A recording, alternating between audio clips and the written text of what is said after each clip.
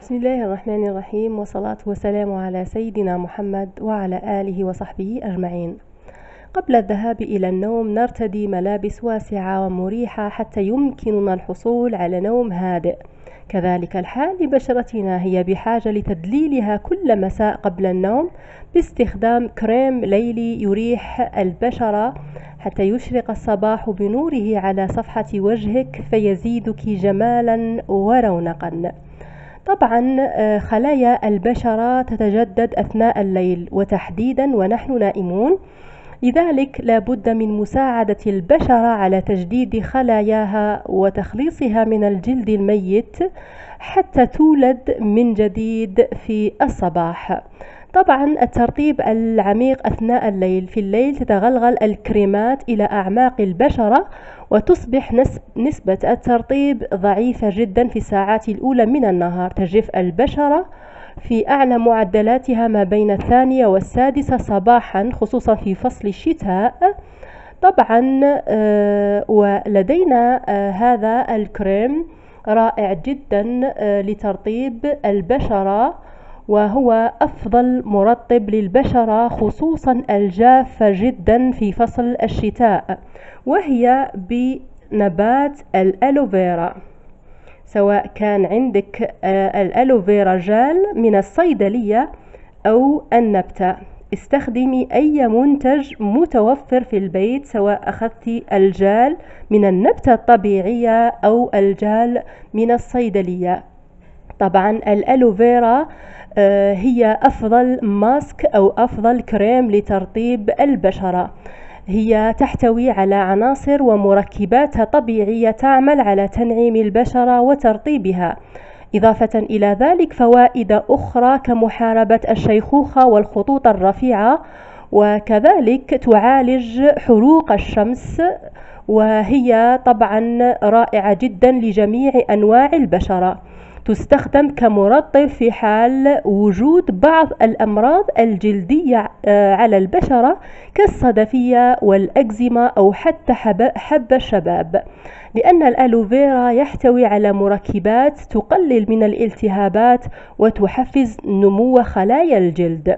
طبعا الألوفيرا سواء كان الطبيعي أو الجال من الصيدلية يحتوي على العديد من الفيتامينات بالإضافة إلى احتوائه على كالسيوم ومغنيسيوم وزنك وبعض الأحماض الدهنية. طريقة عمل هذا الكريم سهلة جدا. إذا كانت متوفرة النبتة نأخذ آه، طبعا طريقة الاستخدام. الأمر بسيط جدا. نقوم بغسل ورقة أو نبتة الألوفيرا ونقوم بإنزال المادة الصفراء الموجودة. دائما يجب التخلص من المادة الصفراء الموجودة لأنها تسبب التهابات بالبشرة. ثم نقوم بنزع هذه الأشواك ونشطف آه، عفوا ونقوم باستخراج العصارة أو الجال الموجود في النبتة.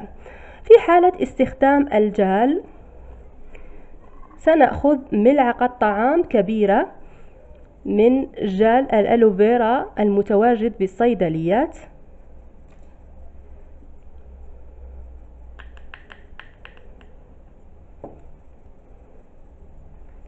ونضيف عليه كذلك آه، زيت البرتقال.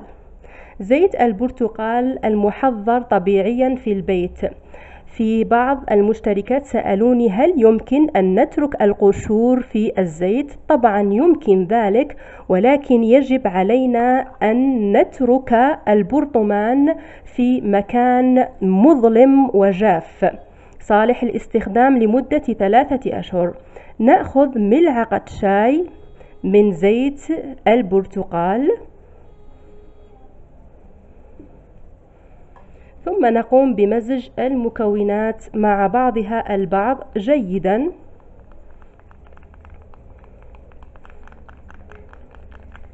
لاحظوا معي؟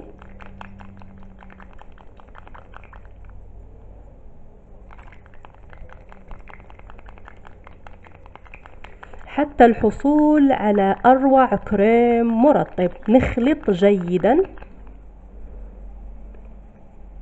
نتحصل على هذا الكريم.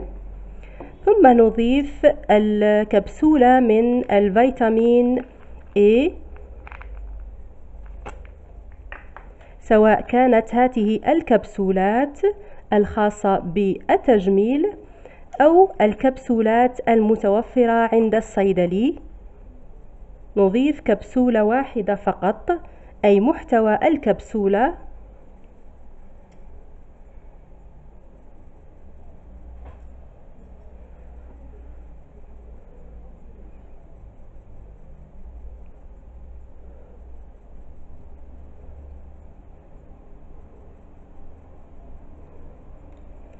ونخلط المكونات مع بعضها البعض.